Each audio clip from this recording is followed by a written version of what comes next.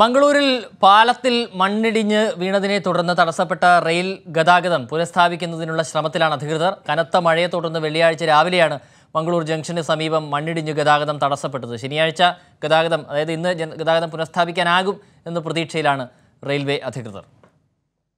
Palakkad railway ഡിവിഷന്റെ ഭാഗമായുള്ള മംഗളൂർ ജംഗ്ഷന്റെ സമീപം കുലശേഖരിയിൽ ശനിയാഴ്ച രാവിലെയാണ് ശക്തമായ മണ്ണിടിച്ചിലുണ്ടായത്. പാർശ്വഭിത്തിയും മേൽമണ്ണും കനത്ത മഴയിൽ ഇടിഞ്ഞു വീഴുകയായിരുന്നു. മണ്ണിനൊപ്പം വലിയ കല്ലുകളും പാളത്തിലേക്ക് വീണ് റെയിൽ ഗതാഗതം തടസ്സപ്പെട്ടു. ഇതേ തുടർന്ന് കൊങ്കൺ പാതയിൽ ഗതാഗതം പൂർണമായി നിർത്തിവെച്ചു. അപകടമുണ്ടായ ഉടൻ ഉയർന്ന റെയിൽവേ ഉദ്യോഗസ്ഥർ സ്ഥലത്തെത്തി. തുടർന്ന് പാളത്തിൽ നിന്നും മണ്ണ് നീക്കുന്ന പ്രവർത്തനം ആരംഭിച്ചു. മണ്ണുമാന്തി യന്ത്രം ഉപയോഗിച്ചാണ് മണ്ണ് നീക്കുന്നത്.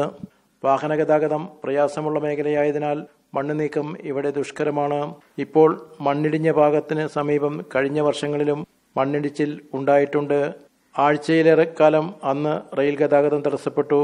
മണ്ണ് നീക്കി ശനിയാഴ്ച ഗതാഗതം പുനഃസ്ഥാപിക്കാനാകുമെന്ന പ്രതീക്ഷയിലാണ് റെയിൽവേ അധികൃതർ കൊങ്കൺ പാതയിൽ റെയിൽ ഗതാഗതം തടസ്സപ്പെട്ടതിനെ തുടർന്ന് ഏറെ ദുരിതത്തിലായത് കേരളത്തിൽ നിന്നുള്ള യാത്രക്കാരാണ്. കൈരളി ന്യൂസ് കാസർഗോഡ്.